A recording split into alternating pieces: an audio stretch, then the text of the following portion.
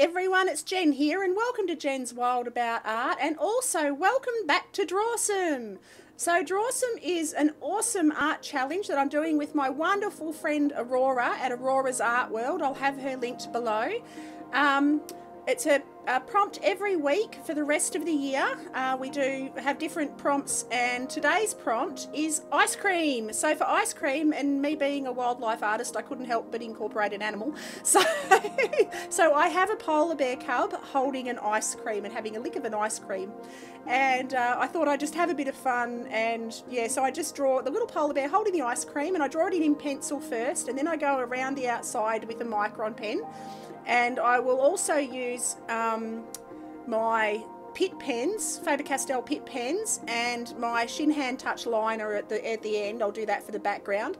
But I draw the outline in, and then I add a little bit of fairy texture with my Micron pen and take that right around the outside of the drawing. And then I will erase the drawing. Um, and so I'll pop the other little paw in there and go around the outside of the ice cream. And I go in with an ice blue to begin with and I just take that around some of the areas because polar bears are white. So instead of colouring him in, I literally just do the shadow areas with a pale blue and a little bit of grey and I leave the rest of the paper white. And um, yeah, I'll put a little bit of a background in so he stands out. But yeah, so I use an ice blue So I add a little bit of grey around the eyes and around the nose. And I also add a little bit of fur texture with the grey pen around his ears and around his body. Take it under his neck a little bit. And then under his arm and around his belly. And I just sort of add a bit of grey just for extra shadow colour. And around his furry bits on his feet.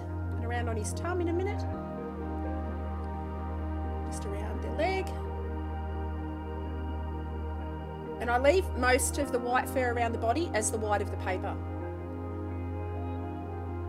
And then I go back in with the ice blue and add a little bit more around his paws and his feet.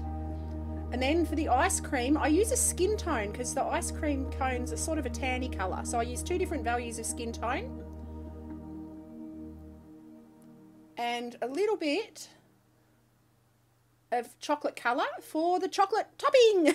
Add a cherry. Got to add a cherry with a little bit of pink.